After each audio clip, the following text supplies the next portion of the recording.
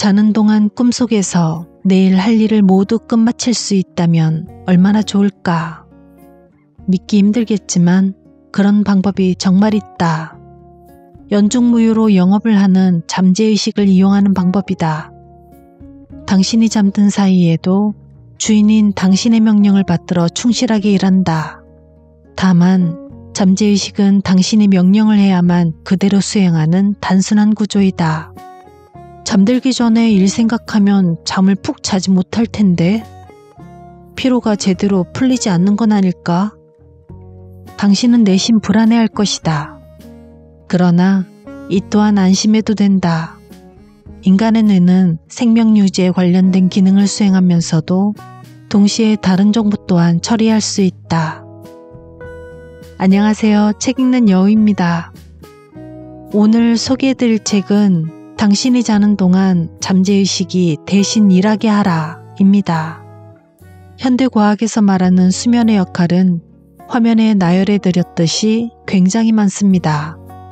이 책에서는 이런 수면의 여러 역할 중 마지막에 해당하는 항목, 기억의 정리보정과 학습의 정착, 즉, 업무를 처리하고 꿈과 목표를 이루는 데 초점을 맞추어 좀 더 효과적으로 활용하는 실천 기법들을 소개합니다.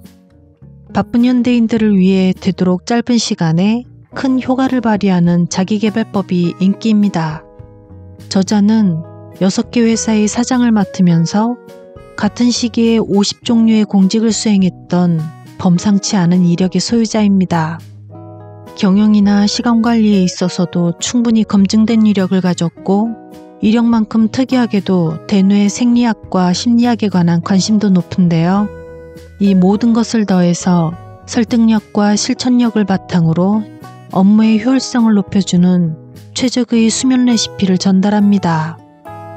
영상에서는 잠재의식을 이용할 수 있는 방법들에 대한 것과 자면서 일하는 수면 레시피, 그리고 평상시 알고 있으면 유용한 일과 인생의 활력을 높이는 수면의 기술 몇 가지를 담아보았습니다. 그럼 당신이 자는 동안 잠재의식이 대신 일하게 하라. 함께 들어보실까요?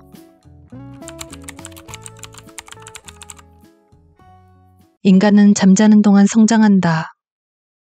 잠재의식을 적극적으로 이용하여 업무를 처리하거나 꿈과 목표를 실현하는데 매우 중요한 조건이 한 가지 있다. 바로 수면이다. 하루에 적어도 6시간 이상의 수면이 필요하다. 왜일까? 수면 중에는 육체의 휴식 외에도 깨어있는 동안 오감을 통해 뇌로 입력된 정보를 정리하는 작업이 이루어진다. 특히 하루에 4회, 약 90분 간격으로 나타나는 렘 수면 상태일 때가 중요하다. 90분이 4번이니 360분이고, 즉 6시간이다. 뇌에는 해마라고 불리는 부위가 양쪽 귀 깊숙한 곳에 하나씩 있다. 여기서 기억을 일시적으로 보관한다. 그리고 자는 동안 혹은 꿈을 꾸는 동안 해마에서는 보관 중인 기억을 필요한 기억과 불필요한 기억으로 나누는 분류 작업을 한다.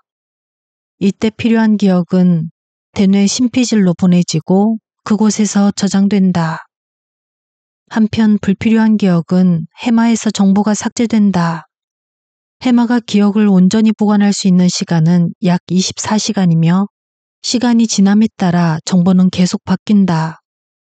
그래서 우리는 어제 저녁에 무엇을 먹었는지는 기억하지만 생일이나 특별한 경우가 아닌 이상 1년 전 어제 저녁에 무엇을 먹었는지는 기억하지 못한다.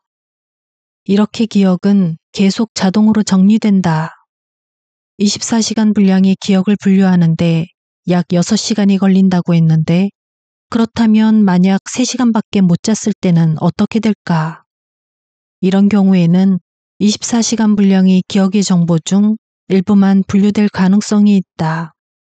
수면 시간이 3시간밖에 되지 않으면 해마는 미처 분류 작업이 이루어지지 못한 정보를 분류 불능으로 처리해 완전히 삭제해버리고 만다. 하루째 기억의 일부가 사라지는 것이다. 기억 속에서 당신의 하루는 24시간 이하가 되어버리는 것이다. 이 얼마나 아까운 일인가. 예를 들어 밤을 새워 암기한 정보는 해마가 24시간 동안은 그대로 보존하고 있으므로 당일에는 그 내용을 생각해낼 수 있다. 그러나 밤을 새느라 기억의 분류 작업이 이루어지지 못했기 때문에 하룻밤이 지나면 해마는 그 기억을 삭제해버리는 것이다. 2000년 미국 하버드 대학의 로버트 스틱골드 박사는 많은 피험자를 대상으로 단면 실험을 실시했다. 그 결과 기억력 향상을 위해서는 적어도 6시간의 수면이 필요하다는 사실을 밝혀냈다.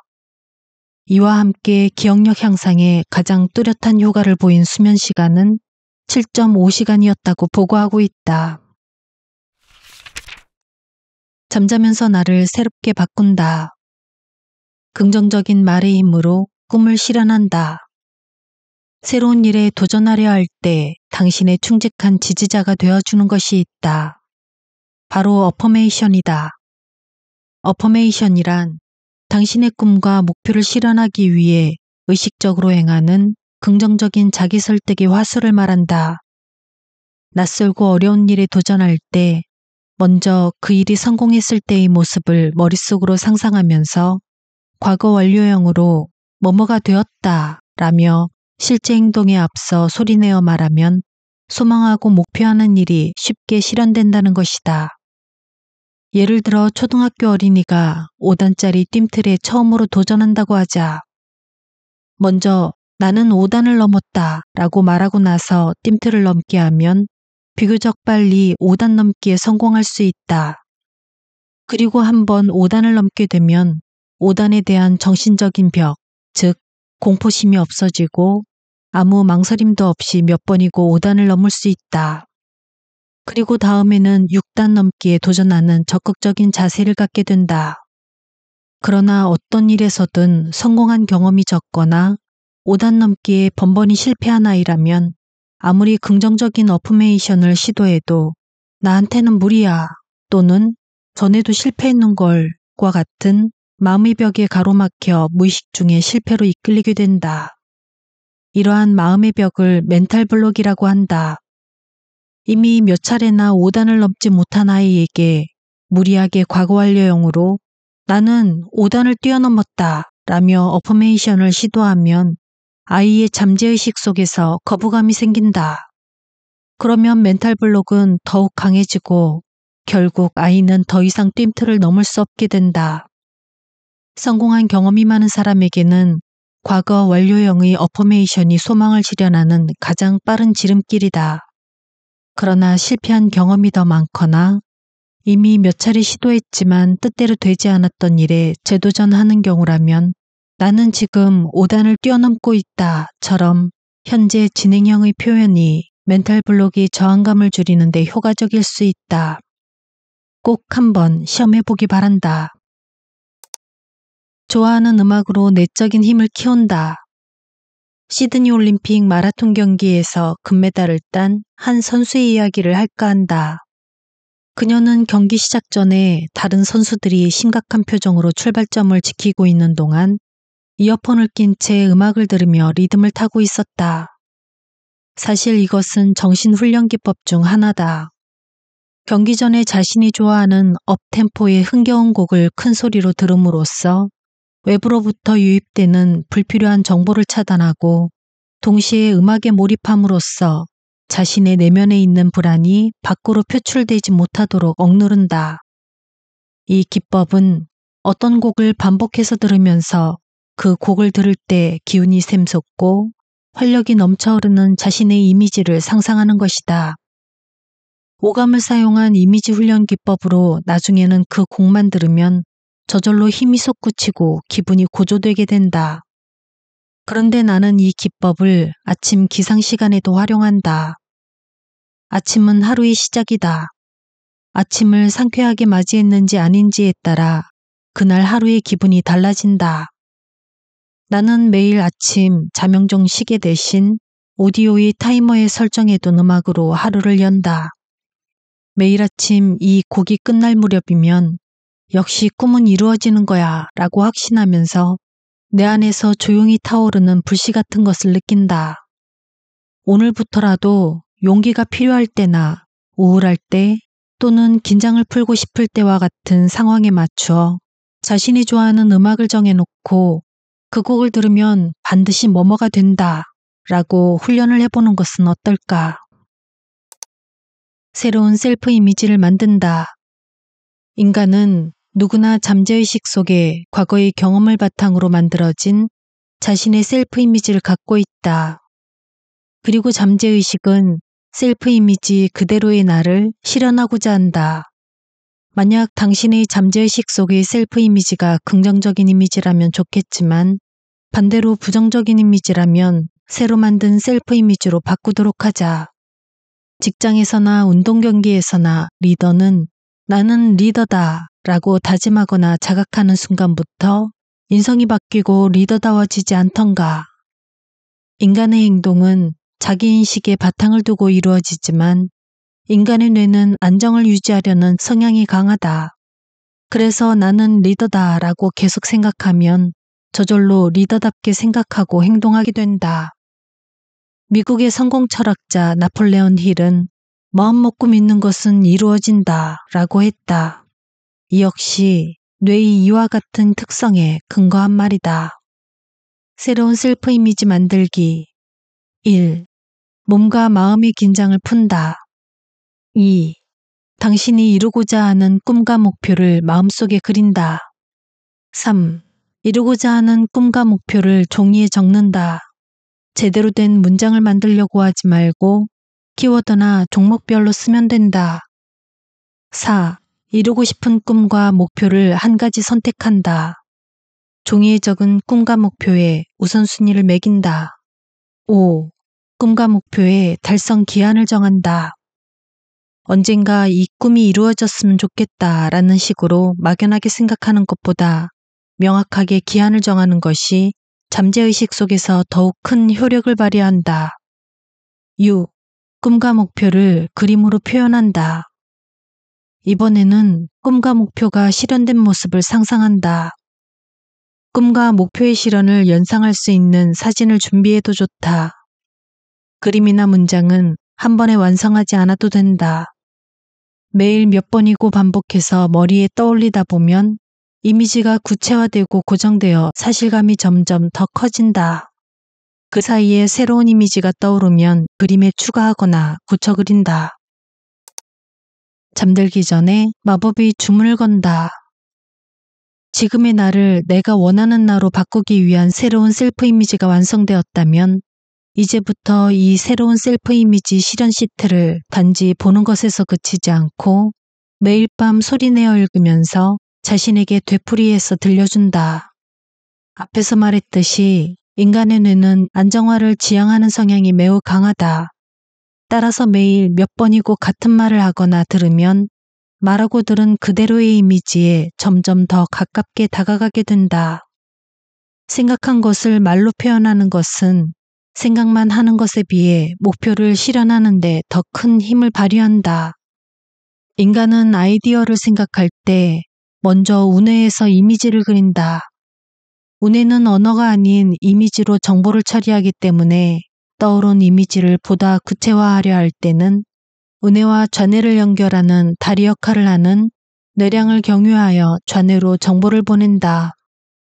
이를 좌뇌에서 언어화하여 이미지를 고정시킨다. 말로 표현하기 위해서는 좌뇌에서 이미지를 명확한 언어로 변환시켜야 하기 때문에 더욱 구체적인 이미지가 머릿속에 떠오르게 되고 그것은 잠재의식에 뚜렷이 새겨진다. 또 생각한 것을 말로 나타내려면 성대나 얼굴의 근육을 사용해야 한다. 잠재의식은 그 일 역시 기억한다.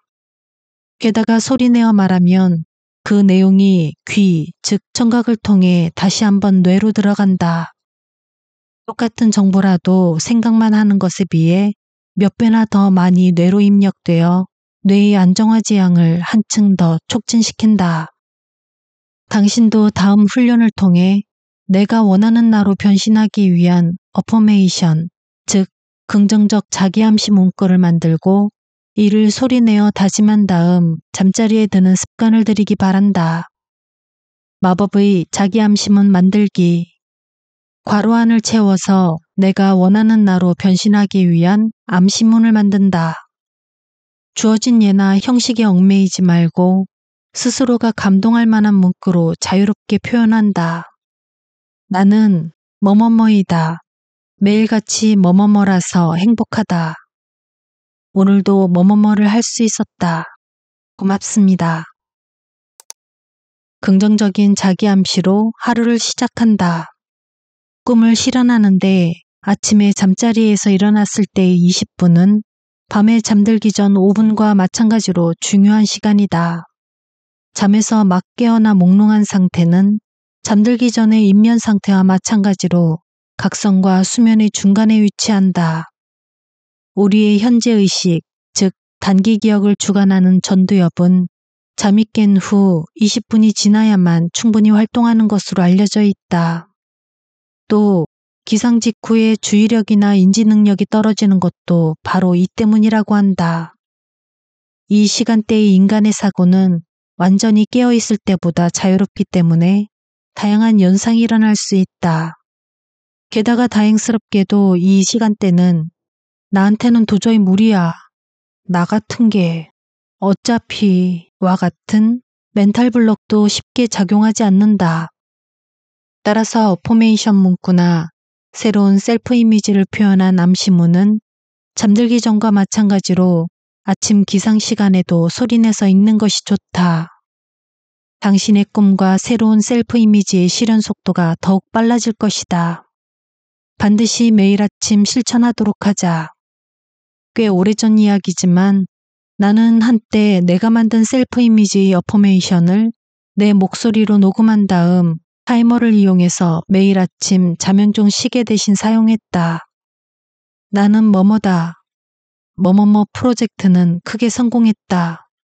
뭐뭐뭐는 목표액의 120%를 달성했다. 고맙습니다. 이 세트를 여러 차례 반복해서 녹음한다. 이렇게 내가 원하는 바를 과거 완료형으로 나타냈다. 익숙해지기 전까지는 조금 어색하지만 효과면에서는 뛰어나다. 수면 레시피, 자면서 일하는 수면 습관 만들기. 잠들기 전 5분이 큰 차이를 만든다. 뇌에는 기억의 공장에 해당하는 해마가 있다. 오감을 통해 뇌로 입력된 정보는 여기서 일시적으로 보관된다. 그리고 우리가 자는 동안 해마는 보관 중인 기억들을 분류하여 필요한 것과 불필요한 것으로 나눈다. 우리가 자면서 꾸는 꿈도 해마와 관련이 있다. 꿈을 비유적으로 표현하면 일시적으로 해마라는 비디오 레코더에 녹화된 비디오의 영상을 빠른 속도로 앞으로 돌려보면서 그 영상이 필요한지 아닌지를 확인하는 작업이라고 할 수 있다. 이때 필요한 기억은 대뇌의 심피질로 보내 저장된다.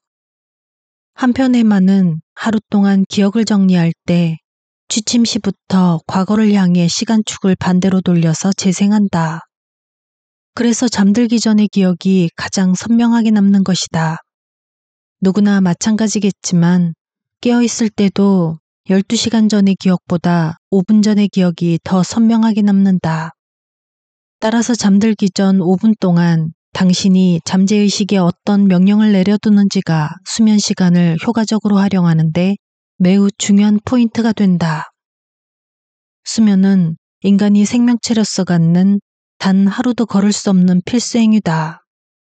사람은 사는 날까지 하루 평균 4분의 1에서 3분의 1의 시간을 잠자는 데 사용해야 한다. 그런데 매일 밤 잠들기 전 단 5분 동안 당신의 잠재의식에 효과적인 명령을 내리면 당신의 꿈과 소망을 훨씬 빨리 이룰 수 있다. 잠들기 전 단 5분이 당신과 다른 사람 사이에 큰 차이를 만든다. 코스 요리 준비하듯 뇌에게 업무를 지시한다. 잠재의식이라는 레스토랑에서는 당신이 어떠한 주문을 해도 유능한 요리사 해마가 솜씨를 발휘하여 맛있는 요리를 만들어준다. 그러니 원하는 건 무엇이든 주문해도 좋다. 이와 같은 주문 요령은 한 번 익혀두면 다른 레스토랑에 가거나 일식 또는 중식처럼 종류가 다른 경우에도 응용할 수 있다. 마찬가지로 우리의 뇌도 일단 그 요령을 파악하기만 하면 다양한 종류의 업무에 활용할 수 있다. 단, 레스토랑의 주방에 해당하는 대뇌에는 저장된 기억에 해당하는 요리의 재료가 충분히 갖춰져 있지 않으면 만들어낼 수 있는 요리의 종류도 제한될 수밖에 없다. 따라서 주문을 하려면 최소한의 지식이 필요하다. 또 주문 내용이 구체적일수록 자신이 원하는 것에 가까운 요리가 나온다는 것은 말할 필요도 없다. 그리고 레스토랑에서 자신이 원하는 것을 제대로 주문할 수 있을 정도가 되려면 새로운 메뉴에 여러 차례 도전해야 한다. 물론 예상이 빗나갈 때도 있을 것이다. 따라서 책이나 잡지를 보면서 연구하거나 한 음식점에 단골로 다니거나 아니면 여러 종류의 음식점에 가보는 등 풍부한 실전 경험을 쌓을 필요가 있다. 지금부터 잠재의식이라는 레스토랑에서 능숙한 주문 요령을 상황별로 제시할 것이다. 이 책에서 제시하는 수면 레시피는 총 4가지인데요. 첫 번째는 자는 동안 다음날 업무를 처리하는 방법. 두 번째는 자는 동안 실천하는 창조적 아이디어 발상법. 세 번째는 자는 동안 실천하는 매출 증가를 위한 아이디어 발상법. 네 번째는 자는 동안 문제를 해결하는 방법입니다. 이 중에서 영상에서는 자는 동안 업무를 처리하는 방법과 문제를 해결하는 방법 두 가지를 다루었으니 참고하시기 바랍니다. 자는 동안 다음날 업무를 처리하는 방법 9단계 1단계 다음날 업무 중에서 중요한 것을 세 가지를 고른다. 2단계 우선순위를 정한다. 이 세 가지 업무의 긴급성과 중요도라는 두 가지 기준에 따라 우선순위를 매기고 각 항목에 1, 2, 3으로 표시한다. 업무의 우선순위를 정하지 않은 상태에서는 처리하지 못한 업무가 쌓이면 불안해지거나 의욕이 떨어질 수 있다. 이 작업을 통해 업무의 우선순위를 확실히 정하고 그것을 당신 자신이 스스로 납득한다면 혹시 우선순위가 낮은 업무가 지연되거나 처리되지 않은 상태로 남더라도 크게 신경 쓰이지 않게 된다. 바꿔 말하면 기분 좋게 일할 수 있다는 뜻이다. 3단계 실현되었을 때의 결말, 즉 해피엔드의 구체적 장면을 상상한다. 우선순위 1의 업무에 대해 그 업무의 목표를 달성했을 때의 모습을 이미지로 떠올린다. 그 이미지는 반드시 해피엔드여야 하며 구체적일수록 좋다. 또 그 결과 얻게 되는 달성감과 충만감을 느껴본다. 잠재의식은 참가 거짓을 분간할 줄 모르며 이미지의 지배를 받는다. 따라서 잠재의식은 당신이 이미 이 업무를 달성한 것으로 받아들이고 그에 맞게 작용할 것이다. 그리고 달성감과 충만감은 성공의 기억을 강하게 만들어준다. 4단계 목표 달성 과정을 상상한다. 마지막 장면에서 시간축을 거꾸로 돌려 목표를 달성하는 과정에서 등장하는 사물이나 정보, 협력자 등 필요한 사항을 떠올려 본다. 제품이나 팸플렛, 배송수단, 고객, 회사의 담당 직원, 거래처 직원 등이 차례로 생각날 것이다. 이 부분 역시 되도록 구체적인 이미지나 이름을 떠올리는 것이 좋다. 직감에 따르면 된다. 이것을 수첩의 빈자리에 키워드로 적어 넣는다.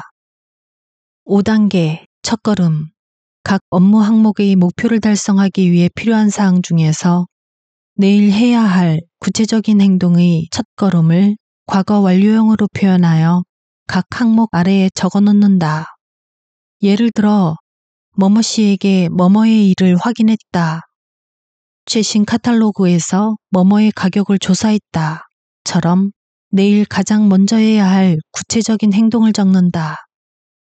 자신이 알아볼 수 있다면 어떠한 표현도 상관없다. 중요한 것은 과거 완료형으로 나타내는 것이다. 다시 한번 강조하지만 잠재의식은 입력된 정보가 참인지 거짓인지 분간할 줄 모른다. 따라서 당신이 이미 머머 씨에게 전화를 했다고 믿고 자동적으로 전화를 건 다음에 취해야 할 행동을 순서대로 생각해낸다. 6단계. 자면서 결과를 기다린다. 거듭 강조하지만 인간이 하루 24시간 분량의 기억을 정리하려면 6시간 이상의 수면이 필요하다. 7단계. 멘탈 리허설. 하루를 여는 아침 시간은 매우 중요하다. 상쾌한 기분으로 아침을 맞이하면 그날 하루는 왠지 신나고 유쾌하며 생산성도 오른다. 앞의 6단계 과정까지 마쳤다면 다음 날은 아침에 직장에 도착하면 우선 한숨 돌리고 나서 몸과 마음의 긴장을 풀고 업무를 시작하기 전에 잠재의식을 끄집어낸다. 먼저 스케줄 수첩을 펼치고 오늘 일정을 확인하면서 어제 적은 문장을 읽는다. 그러면 잠들기 전에 지시했던 오늘 할 일의 순서가 차례차례 이미지로 떠오를 것이다. 당신이 잠을 자는 동안 잠재의식이 이미 그 일들을 한 번 마친 상태다. 업무의 비전이 명확해졌기 때문에 업무 내용을 수정하는 경우도 없고 같은 일이라도 빠른 시간에 처리할 수 있으며 완성도 역시 높아진다. 다시 한번 업무의 처리 순서를 아침부터 퇴근 시간까지 순서대로 이미지화한다. 이렇게 머릿속에서 미리 그날 하루의 일을 완성하고 나서 실제로 일을 시작하는 것이 바로 효율적인 업무 수행을 위한 요령이다. 이 작업을 멘탈 리허설이라고 한다. 영국 배우는 실제로 무대에 서기 전에 마음속으로 몇 번이고 무대에 서 있는 모습을 상상하면서 연습한다고 한다. 업무건 연극이건 제대로 연습해 두면 두렵지 않는 법이다. 8단계 실행. 이제는 우선순위가 높은 업무부터 차례대로 실행에 옮기면 된다. 9단계 내일을 준비한다. 오늘부터 매일 이 과정을 반복한다. 처음에는 좀 번거롭겠지만 익숙해지면 일상적인 행동이 된다. 잠들기 5분 전이 곤란한 날은 하루의 일과를 마친 후에 실행해도 된다. 중요한 것은 매일 실천하는 것이다. 익숙해지면 이 과정에 걸리는 시간도 줄어들기 때문에 잠들기 전 3분과 다음날 아침의 멘탈 리허설 2분을 합해 5분 정도의 시간이면 충분하다. 자는 동안 문제를 해결하는 방법 9단계. 회사든 개인이든 정도의 차이는 있겠지만 문제는 늘 있게 마련이다. 이 문제의 해결 과정에 두 가지 포인트가 있다. 첫째는 답, 즉 해결법은 반드시 자신의 마음 속에 있다는 것이다. 이미 자신의 잠재의식 속에서 바람직한 해결법이 무엇인지 알고 있지만 그 해결법을 선택할 자신이나 용기가 없을 뿐이다. 둘째는 원인이 아니라 결과에 주목하라는 것이다. 예로부터 유명한 성공 법칙 중 하나에 제임스 알렌의 원인과 결과의 법칙이 있다. 나 역시 그 이론에 동감한다. 그러나 원인주의적 사고방식으로 접근하다 보면 아무래도 원만하게 해결되지 못한 점이나 실패의 원인 같은 부정적인 면에 초점이 맞춰지기 쉽다. 그리고 부정적인 면을 극복하기 위한 방법에만 의식이 집중되기 때문에 새로운 관점이나 조건과 같이 성공을 위해 필요한 면을 간과할 가능성이 커진다. 그래서 나는 결과주의의 바탕을 두고 원하는 결과에 초점을 맞춰 그 결과를 끌어내기 위한 방법과 아이디어를 생각해냄으로써 보다 좋은 해법을 찾는 컨설팅 방법을 채용하고 있다. 이런 문제 해결 방식은 내 자신의 문제나 고민을 해결할 때도 똑같이 적용된다. 다만 컨설팅으로 만난 고객과 다른 것이 한 가지 있다. 나는 자는 동안 문제를 해결한다는 것이다. 자는 동안 문제를 해결하는 방법 9단계. 1단계. 몸과 마음의 긴장을 푼다. 2단계. 문제점을 추출한다. 문제가 된 것을 생각나는 대로 종이에 써놓는다. 조금이라도 불안하게 느껴지는 점들은 모두 종이에 적어서 그 의미를 명확하게 한다. 3단계. 문제의 범위를 좁힌다. 종이에 적은 것 중에서 가장 큰 문제점을 한 가지 뽑는다. 골똘히 생각하거나 너무 비교하지 말고 직감적으로 선택하면 된다. 인간의 심리란 여러 가지 작은 문제가 해결되어도 크게 문제가 될 만한 일이 하나라도 남아 있으면 기분이 개운하지 않는 법이다. 반대로 크게 불안한 문제가 해결되면 작은 문제는 아무리 많아도 그다지 초조하지 않다. 4단계 자신이 원하는 이상적인 결과를 상상한다.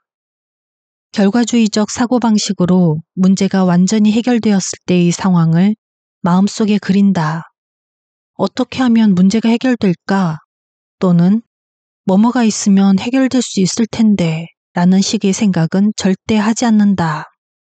자신은 이미 문제 해결에 필요한 모든 조건을 갖고 있다고 믿는다.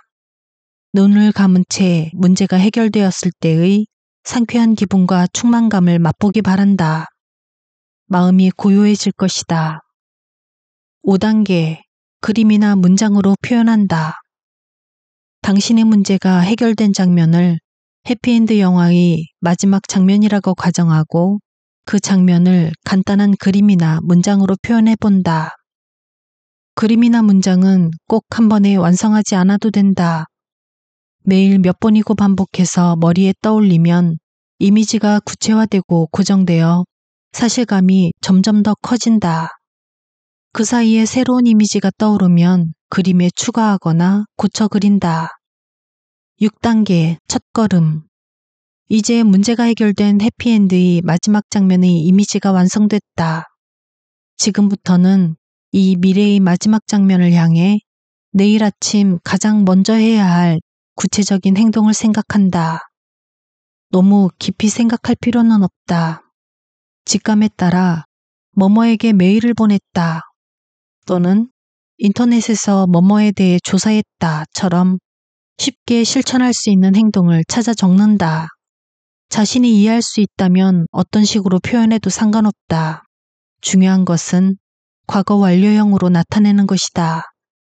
다시 한번 말하지만 잠재의식은 입력된 정보가 참인지 거짓인지 분간하지 못한다. 따라서 당신은 이미 뭐뭐에게 메일을 보냈다고 믿고서 자동적으로 메일을 보낸 다음 취해야 할 행동들을 순서대로 생각해낼 것이다. 7단계 수면 당신이 잠든 사이에 당신의 잠재의식이 이 해피엔드의 마지막 장면을 위한 모든 준비를 해놓을 것이다. 8단계 기상, 그림 확인 혹 자고 나서 상쾌한 기분으로 눈을 떴다면 다시 한번 해피엔드의 마지막 장면을 묘사한 그림을 본다. 그러면 당신이 잠자는 동안 잠재의식이 찾아낸 몇 가지 해결법과 확인 사항들이 머리에 떠오를 것이다. 이 방법에 익숙해지고 확신을 갖기 전까지는 크고 어려운 문제는 하룻밤 안에 해결하기 어려울 수도 있다. 그러나 나와 내 고객의 경험으로는 3에서 7일 동안 매일 잠들기 전에 그림을 보고 문제가 해결된 장면을 머릿속에 떠올려서 그 기분을 충분히 느끼며 잠자리에 들다 보면 어느 날 문득 해결책이 떠오른다. 9단계 지속 며칠 동안 꾸준히 잠들기 전에 6에서 8단계를 반복한다. 6단계의 첫걸음에서는 매일 다른 내용이 생각날 것이므로 그림의 빈자리에 그 새로운 첫걸음을 과거 완료형으로 써넣는다. 도무지 다른 내용의 첫걸음이 생각나지 않는다면 그날은 같은 내용을 다시 한번 적고 나서 잠자리에 든다. 문제가 해결된 장면을 묘사한 그림은 하루에 몇 번을 보아도 좋다. 많이 볼수록 해결법이 쉽게 떠오른다. 그림을 복사해서 머리맡이나 책상에 붙여두거나 축소 복사해서 수첩에 끼워두고 틈날 때마다 들여다보는 것도 효과가 있다. 일과 인생의 활력을 높이는 수면의 기술. 수면의 기본은 밤에 6시간 이상 깊은 잠을 자는 것이다. 그런데 이와 다른 형태의 수면도 있다. 낮잠이나 선잠 또는 수면에 가까운 효과를 내는 명상이다. 여기서는 이러한 수면 형태의 효용을 검증하고 아울러 밤 수면의 질을 높이는 방법을 제시하려고 한다. 이를 알고 실천하면 당신도 수면의 달인이 될 수 있다. 1. 낮잠은 하루 15분이 알맞다. 낮잠은 뇌의 정보 처리 능력을 향상시키고 피로를 회복하며 혈압이나 맥박을 늦추는 긴장이 한 효과가 있다. 2. 선잠이 업무의 처리 속도를 높인다. 한참 바쁠 때 눈치도 없이 밀려오는 잠을 이기지 못해 결국 자신도 모르는 사이에 선잠이 들었던 경험이 누구나 한 번쯤은 있을 것이다. 연구를 통해 밝혀진 바로는 눈을 감고 편히 쉬기만 해도 수면과 동일한 효과를 얻을 수 있다는 것이다. 즉, 학습 촉진에 필요한 것은 수면 자체가 아니었던 것이다. 주변으로부터 입력되는 정보들을 차단하면 뇌에 정보를 정리할 여유가 주어진다. 그러면 와인이 저장고에서 숙성되듯 뇌의 정보는 원활하게 정리되어 숙성된다. 한편 이케가야 유지 박사의 연구에 따르면 TV를 보면서 취하는 휴식은 효과가 없다고 한다. 어디까지나 뇌를 외부 세계와 격리시키는 것이 중요하기 때문이다. 따라서 선잠이나 기분 전환을 위한 명상에도 수면과 마찬가지로 정보 처리와 학습 정착에 효과가 있다는 사실을 유추할 수가 있다. 3. 뇌의 정보 처리 속도를 높이는 3분 명상법. 그래서 누구나 쉽게 따라할 수 있고 효과도 높은 명상법을 소개한다. 티베트식 호흡 명상이다. 단 3분이지만 이 호흡 명상을 하게 되면 뇌의 정보 처리 속도가 빨라지기 때문에 머리가 산뜻해진다. 아침과 오후에 한 번씩 업무 시작 전에 실천하면 업무의 효율을 높일 수 있다. 지하철 안에서도 할 수 있으므로 이동 시간을 이용해도 좋다. 티베트식 3분 호흡 명상 1. 타이머를 3분으로 맞춘다. 2. 등을 곧게 펴고 편한 자세로 앉는다. 3.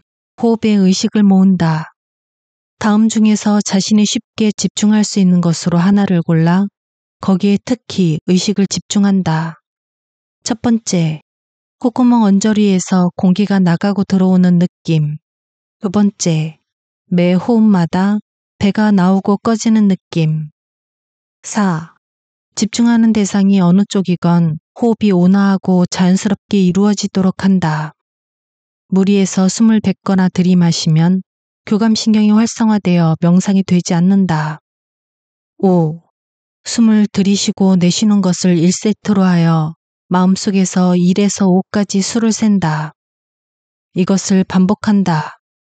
이때 잡념이 생기면 수를 세던 것을 멈추고 다시 1부터 센다. 명상 중에는 여러 가지 잡념이 떠오르기 마련이다. 잡념에 끌려가거나 거부하지 말고 중도적인 자세를 취하도록 한다. 꼬리를 물고 떠오르는 잡념은 뇌가 기억의 정보를 처리하고 있다는 표시다. 잡념이 생겨도 의식을 흐트러뜨리지 말고 첫 번째, 두 번째 중 어느 한 가지에 집중한다. 4. 잠들기 4시간 전부터 아무것도 먹지 않는다. 먹은 것을 소화하기 위해 많은 양의 에너지가 사용된다. 그만큼 수면의 중요한 역할인 신체의 피로 회복과 세포의 신진대사를 위한 에너지가 부족해진다. 5. 수면을 유도하는 냉온욕. 인간은 자율신경에 의해 혈관이나 내장의 활동을 제어하고 체내의 환경을 바로잡는다. 자율신경에는 교감신경과 부교감신경이 있는데 이 두 가지는 하나의 기관에 대해 서로 상반된 작용을 한다. 교감신경은 깨어있을 때나 긴장하고 있을 때 작용하고 부교감신경은 잠잘 때나 긴장이 이완되었을 때 작용한다. 따라서 잠들기 전에 어떤 일로 초조해하거나 걱정거리를 골똘히 생각하다 보면 교감신경이 활성화되어 잠이 오지 않게 된다. 그럴 때 사용하는 방법이 수면을 유도하는 냉온욕이다.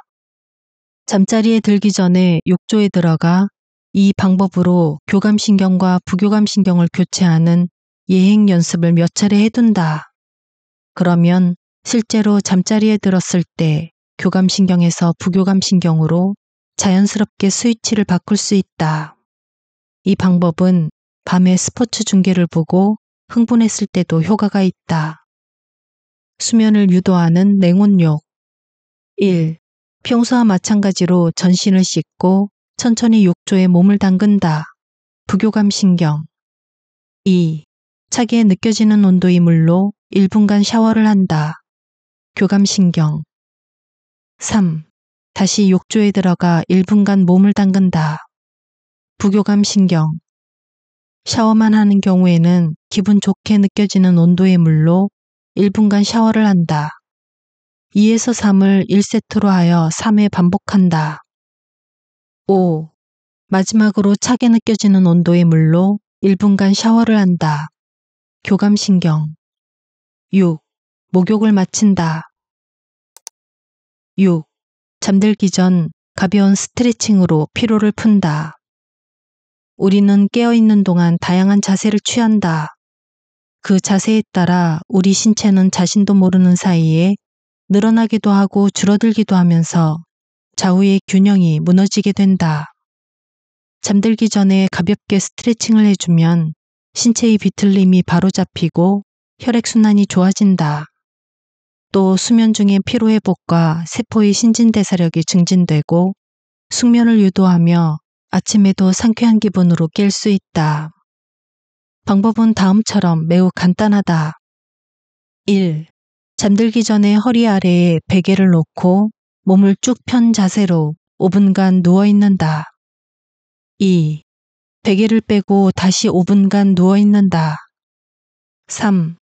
양 무릎을 세우고 숨을 내쉬면서 양쪽 무릎을 천천히 오른쪽으로 기울인다. 4. 양 무릎을 원래대로 되돌린 다음 양쪽 무릎을 천천히 왼쪽으로 기울인다. 5. 3에서 4를 1세트로 하여 3회 반복한다. 낭독은 여기까지입니다. 어떠신가요? 자는 동안 무언가를 해결하고 일을 해낸다면 뭔가 공짜로 시간을 얻는 듯한 느낌이랄까요? 그런 욕심 가득한 마음을 안고 책을 읽기 시작했습니다. 책에서 제시된 물론 영상에서는 두 가지를 담았지만 수면 레시피들은 공통점들이 있었습니다. 자기 전 다음날 할 일들을 우선순위 정하고 맨 처음 할 일을 정하고 자고 일어난 다음 아침에 일어나 되새김질 하는 거였습니다. 글로 써놓으니 너무 복잡한 거 아닌가 싶지만 전 이미 해왔던 일들이더라고요. 약간 다르지만 물론 생각이 너무 많아 잠재의식에 맡기기보다는 자기 전 다음날 할 일들을 모두 정해버리는 경향이 있었지만 제 잠재의식을 믿고 좀 더 놔뒀다면 시간을 참 많이 절약할 수 있었겠다 싶은 생각도 들었습니다. 어쨌든 잠재의식을 이용하겠다는 것도 시간 관리의 중요성을 알고 필요하다고 느끼는 사람에게만 절실하겠죠. 그래서 이 영상은 모든 분들은 아니지만 일부라도 도움되시는 분들이 있길 바라며 오늘은 여기서 인사드리겠습니다. 행복한 하루, 편안한 밤 되세요.